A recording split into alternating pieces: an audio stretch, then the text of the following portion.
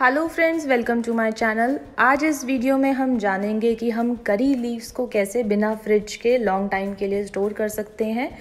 Curry leaves को बिना fridge के स्टोर किया जा सकता है और काफ़ी लंबे समय के लिए ये स्टोर हो सकते हैं और ये ख़राब भी नहीं होते।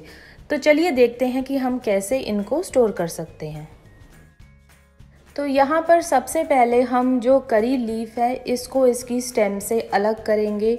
उसके बाद हमें इनको अच्छे से वॉश करना है, ताकि इन पर जितनी भी डस्ट है, वो रिमूव हो जाए।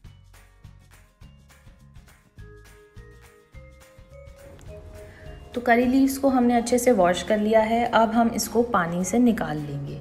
और इसके बाद हमें इसको सुखाना है। तो किसी भी कपड़े के ऊपर आप इसको फैला दें ताकि जो इसका पानी है वो सूख जाए।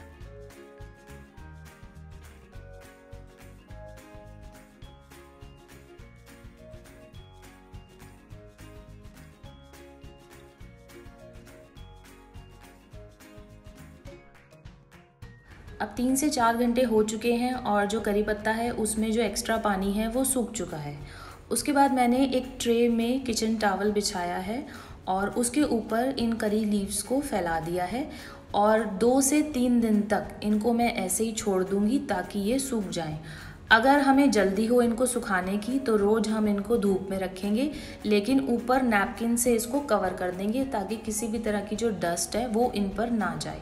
हम चाहें तो इनको ऐसे ही रख सकते हैं तीन चार दिन लगेंगे सूखने में। जल्दी हो तो धूप में रख दें, जल्दी सूख जाएँगे ये। अब ये देखिए तीन चार दिन हो चुके हैं और ये कैसे सूख चुके हैं। तो अब बारी आती है इनको स्टोर करने की। तो किसी भी एयर टाइट कंटेनर में डालकर आप इनको स्टोर करें।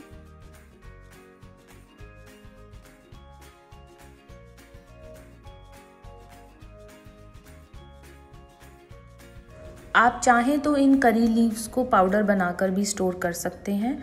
बस जो हमने पत्ते सुखाए हैं तीन चार दिन तक, इनको मिक्सी में डालकर अच्छे से पीसना है और एक पाउडर रेडी हो जाएगा। तो इस पाउडर को आप किसी भी एयर टाइट कंटेनर में डालकर स्टोर कर सकते हैं। तो ये देखिए, पीसने के बाद ये पाउडर रेडी हो चुका है। जो ये पाउडर रेडी होता है, ये मोस्टली हम यूज़ करते हैं हेयर पैक बनाने में और हेयर ऑयल बनाने में। तो करी लीफ का अगर आपको हेयर पैक बनाना है तो आप इस पाउडर को यूज़ कर सकते हैं। अगर आपको हेयर ऑयल बनाना है तो इस पाउडर को यूज़ कर सकते हैं हेयर ऑयल बनाने के लिए। बस ये दो तरीके हैं जिससे आप जो इन करी पत्ते को स्टोर कर सकते हैं बिना फ्रिज के।